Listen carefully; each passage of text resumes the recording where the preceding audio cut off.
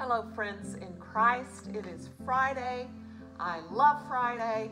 And uh, today we are continuing to talk about living simply through the day.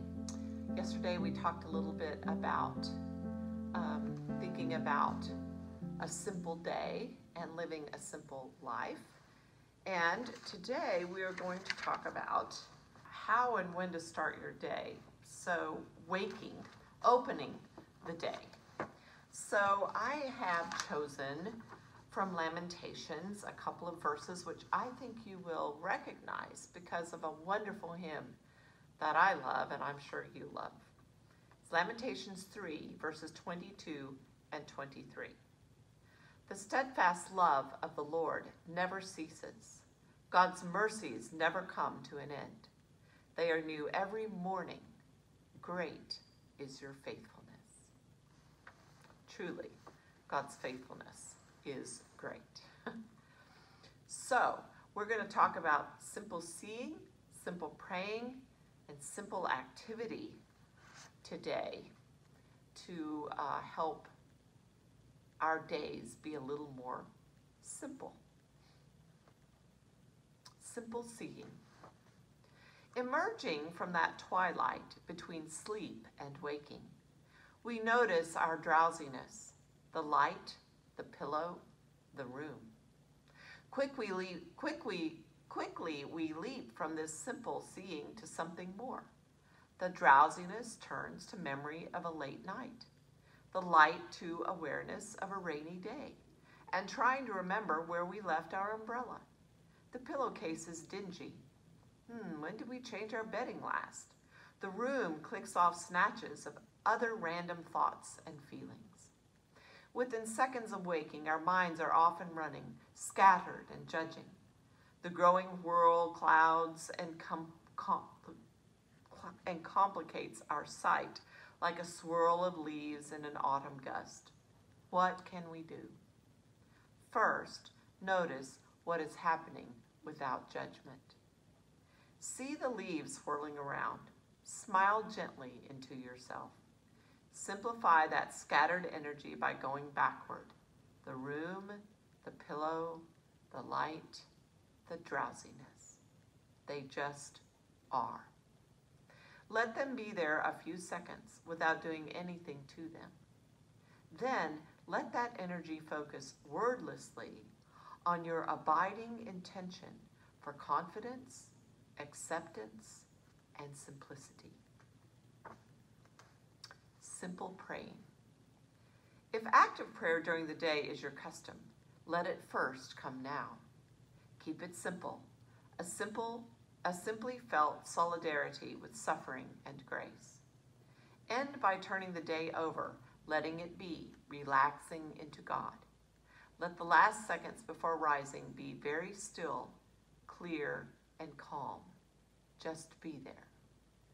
Young children bursting into the room and other kinds of fast starts don't always allow such a beginning. Sometimes this all must be telescoped in a few seconds, but at least assure yourself those. Simple activity. Now, slowly rise. Don't jerk yourself out of bed. Let your rising flow from your resting. It can be one continuous flow. In the bathroom, letting go bodily wastes and washing can continue your sense of simplifying the day, clearing it of accretions. Leave your TV and radio off, or we would have to say cell phones or iPads now, at least for the first few minutes. As you wash and dress, just participate in the flow of these simple activities without judgment, without a busy internal dialogue that takes you out of the flow. This simple presence in simple actions has a way of allowing more in-touchness and contentment with what is present already. We are less panicked and grasping for something outside to literally occupy us, such as a radio or a TV program or a cell phone or the news or whatever it may be once we are calmed down inside and find out we don't really need those other things, we can move on. then it becomes an optional stimulant, picking up our phones or whatever, and not a compulsive one. And it is more likely to enhance, or at least not dull or kill, our underlying clarity. So, what he's talking about here is waking up with gentleness and faithfulness so that when you wake up, you become conscious of where you are in the present moment. Before all the flood of ideas and things that are going to happen that day come rushing in. I start with a very simple prayer every day. And maybe you start that way too.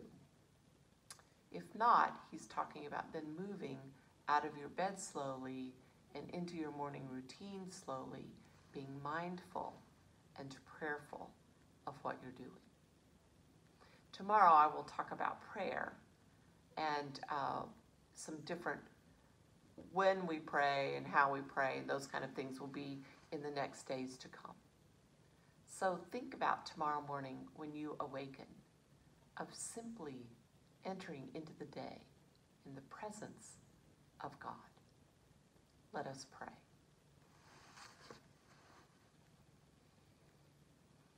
Thank you, God, for your faithfulness, that you wake us each morning. And as we come to consciousness that another day is before us, help us to be first conscious of you, of the blessings you have given us, especially the gift of another day. We pray that you will guide us into a simpler life, one perhaps that we've been testing through this coronavirus, but one that really can center everything we do throughout the day. We pray that you will guide us and show us. For we are yours and we love you and we want to deepen our love for you. We pray these prayers and pray together the prayer that your Son taught us Our Father, who art in heaven, hallowed be thy name. Thy kingdom come, thy will be done, on earth as it is in heaven. Give us this day our daily bread, and forgive us our debts, as we forgive our debtors. And lead us not into temptation, but deliver us from evil. For thine is the kingdom and the power and the glory forever. Amen.